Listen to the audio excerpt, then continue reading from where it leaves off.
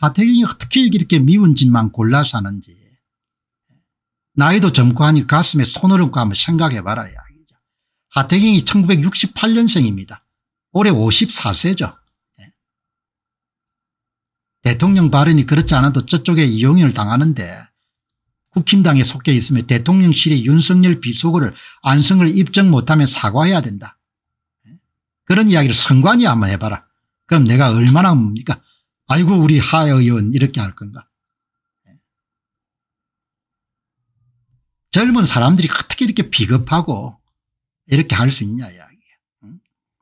어떻게 그렇게 뭡니까 부정선거 없다고 그렇게 길길이 날뛰고 예? 황교안 여러분들 과거에 당내 경선에서 그렇게 뭐죠 쏘아 붙이고 그렇게 할 수 있냐 이야기지. 잘 먹고 잘 살아라 다들. 그래서 제가 오늘 마무리하는 겸해서 하태경의 지역구에서 어떤 일이 일어난지 한번 보시기 바랍니다. 여러분 이게 2022년도 6월 1일 지방선거 결과입니다. 이게 이런 차이값입니다. 밑에. 국힘당의 김성수라고 부른 마이너스 8%까지 빼앗기고 더불어민주당 홍승은 후보는 플러스 8%까지 표가 더해지는 겁니다.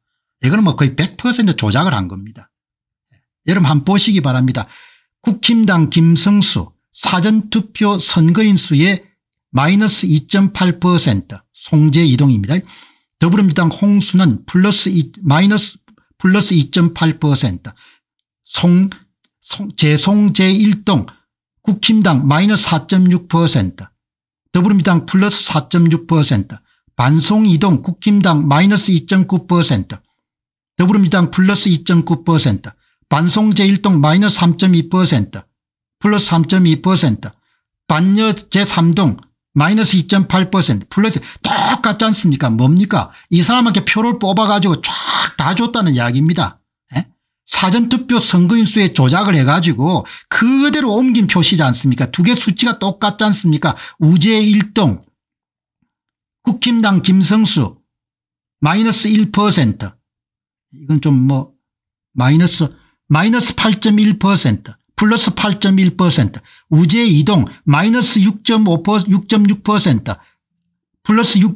어떻게 이렇게 수치가 똑같죠 세상에 이런 그 숫자가 많은데 어떻게 수치가 왼쪽 오른쪽이 똑같습니까 예? 여러분 한번 보시기 바랍니다. 세상에 뭡니까 수많은 숫자가 있는데 어떻게 좌우가 동별로 다 퍼센테이지가 같죠 사전투표 선거인수에 꼭 정확한 숫자만을 빼박 국힘당 이름 국힘당 후보한테서 빼앗아 가지고 더불어민주당 후보한테 전산 조작을 통해서 줬으니까 더해 줬으니까 똑같은 수치가 나오는 거잖아. 예? 예술입니다 예술.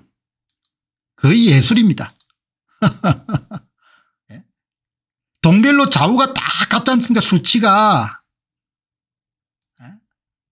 예? 윤석열 정부가 등장하고 이름 치러진 첫 번째에서 선관위 작품입니다. 박찬진 사무총장이 사무처장 겸 사무총장 직무 대행 자격으로 뭡니까 6월 1일 지방선거를 이끌었습니다. 예. 똑같은 겁니다. 100% 예. 조작을 한 거죠 사전투표를. 예. 하태경이 지역구인 해운대구 부산광역시에서 가장 부유한 분이 많이 사시는 해운대구에서 2022년 유3구 대통령 선거에 어떤 일이 있는지 한번 보시기 바랍니다. 이게 선거입니까 윤석열은 사전투표 참가자 수의 마이너스 3에서 마이너스 11% 표를 빼앗깁니다. 모든 동에서 관외 사전투표를 포함해 가지고 민주당의 이름 이재명은 플러스 5에서 플러스 12%까지 더해집니다.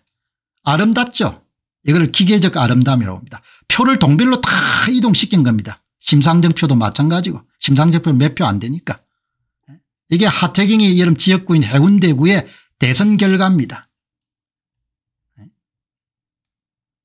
이게 얼마나 심각한 문제인지 여러분 한번 보시기 바랍니다. 하태경 이름 당선됐던 2020년도 총선입니다. 이게 예? 이게 총선입니다. 얼마나 야무지게 표를 가져갔습니까 미래통합당의 하태경은 사전투표 득표수의 동별로 11% 17%를 빼앗깁니다. 그게 고스란히 뭡니까 유영민 더불어민주당 후보와 함께 옮겨집니다. 차이값이 플러스 11에서 플러스 18%입니다. 어느 미친 선거가 뭡니까 차이값이 11에서 18% 차이가 납니까 예? 해운대 구민들이 다 정신이 돌아버려도 뭡니까 이런 차이값이 나올 수 있습니까 해운대 구민들이 사전투표에서는 뭡니까 더불어민주당 후보를 압도적으로 지지하고 당일 투표에서는 하태경과 같은 미래통합당 후보를 압도적으로 지지하는 그런 일이 일어날 수 있습니까 이걸 보고도 서울대학교 물리학과를 나왔던 친구가 부정선거 없다고 그렇게 이름 날뛰고 다니니까 기가 찬 거죠. 잘 먹고 잘 살았는 이야기밖에 내가 할 수 없는 겁니다. 앞으로 출세 많이 하고 54살이니까 앞으로 출세 한 20년 정도 국회의원 해먹겠네요. 이걸 듣고 그냥 가자고 어? 이걸 그냥 듣고 아무 일 없는 것처럼 그렇게 살자고 사람들이 양심이 있어야 되지 이걸 듣고 그냥 윤석열 정부가 무사하겠다고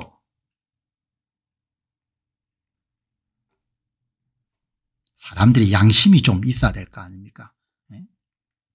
짐승하고 이런 사람이 다른 것이 양심이 있다는 거 아닙니까 이거 한번 보시기 바랍니다. 이게 이게 이게 이게 말이 되냐 이야기죠. 2020년도 총선입니다. 네? 얼마나 표를 훔쳐갔습니까 어마어마하게 훔쳐간 거 아닙니까 네?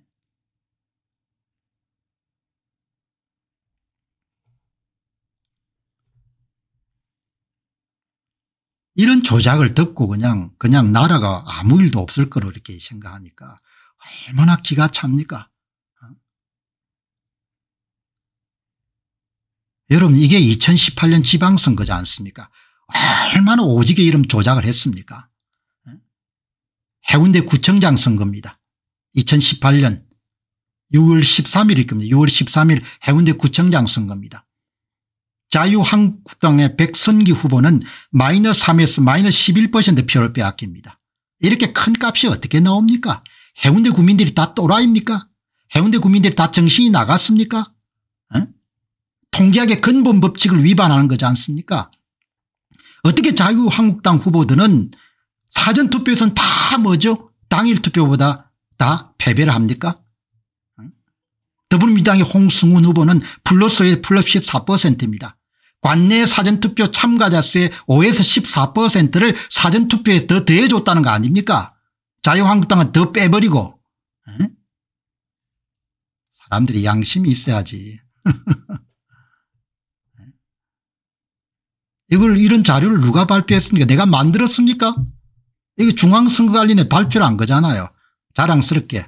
세금 먹고 이런 짓 하니까. 예, 세금 먹고 이걸 발표한 거 아닙니까? 국민들한테. 국민들한테 완전히 뭐죠? 예, 만들어진 숫자를 발표한 거 아니에요. 대한민국 국민들 다 바보 천치니까 그냥 넘어간 거죠. 나도 다 넘어갔으니까 관심이 없으니까 어련히 알아서 선거를 잘 치르겠네 했겠죠. 막상 이제 와가지고 어? 올해 6월 달에 여러분들 요리를 지방선거 하고 나서 2018년 지방선거를 제야 전문가 분석하니까 엉망진창으로 만들어 놓은 겁니다. 이렇게 선거를 다 도둑질한 거죠. 뭐. 예? 이게 도둑질이지 아니면 이게 뭐라고 하면 우아하게 말 그럼 사기쳤다고 할까요 어, 그게 조금 우아하네요.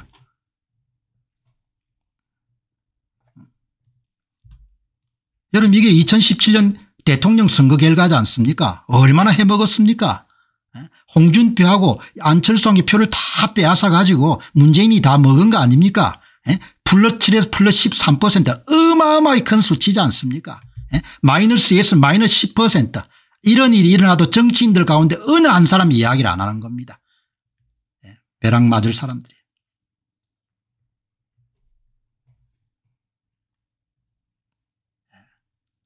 이거 한번 보시기 바랍니다.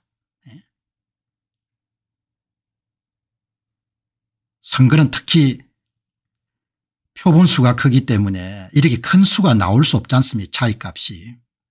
특정 지역의 유권자들 투표자들은 특정 후보에 대한 사전투표 지지도와 당일투표 지지도가 같아야 되는 거죠. 거의 같거나 비슷해야 되기 때문에 0에서 3으로 나와야 될 값이 플러스 7에서 플러스 13이 나오니까 이게 말이 되냐고요.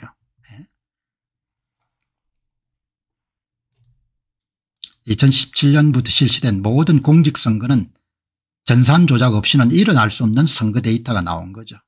예. 전산 조작은 극소수의 사람이 하기 때문에 현장에서 이렇게 사람을 발견하거나 범행 현장을 찾을 수가 없지 않습니까 마지막에 선거 데이터가 나온 다음에 조작이 있었는지를 확인할 수 있을 뿐이죠. 예. 이게 이름 2017년 대선입니다. 예. 이게 이름 2018년 지방선거입니다. 이게 여러분들 해운대구에 하태경이 당선됐던 해운대계 국회의원 선거입니다. 이게 2017년도에 윤석열 후보가 당선된 해운대계 해운대구의 대선 결과입니다. 이게 이름 2022년도 지방선거 요일 지방선거입니다. 다 이름 뭡니까 네. 전산 조작을 했다는 거죠. 사전투표 득표수를 다 이동시킨 거 아닙니까? 전산 조작에 의해 가지고. 뭐가 더 말이 필요하냐 예. 그런데 다 뭐죠? 예. 국힘 당 내부에서 선거 부정 문제가 논란, 논의가 되지 않도록 깔아뭉개는 데 이준석하고 하태경이 결정적 기여를 한거 아닙니까?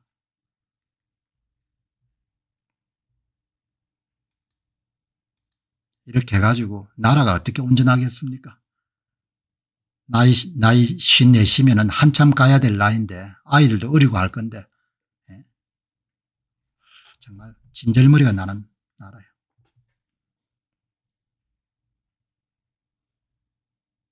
이게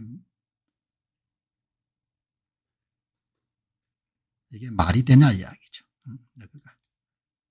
아무리 권력이 좋고 하지만 국가 자체가 국민들이 노예가 되는 길로 가는데 오늘도 뭐 벨라루스 이야기도 나오고 러시아 이야기도 나왔지만 그게 다 선거가 장악돼서 여러분들 국민들이 노예가 된 나라들지 않습니까 여러분들께 기독교로 보는 세계 역사란 책을 소개합니다. 세계 역사의 인물과 사건을 통해 드러난 문명, 종교, 철학 그리고 예술과 사상을 예리한 통찰력과 분석과 전망으로 독자를 한없는 상상의 세계로 초대합니다.